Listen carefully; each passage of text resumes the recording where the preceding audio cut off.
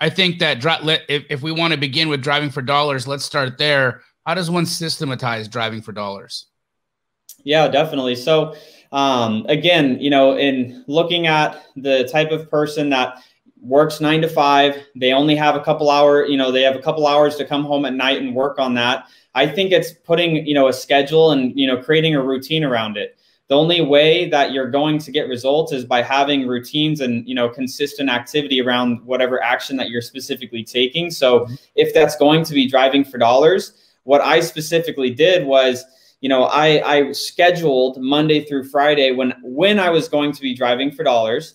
And then I would make sure that, you know, I had the areas mapped out that I wanted to go drive.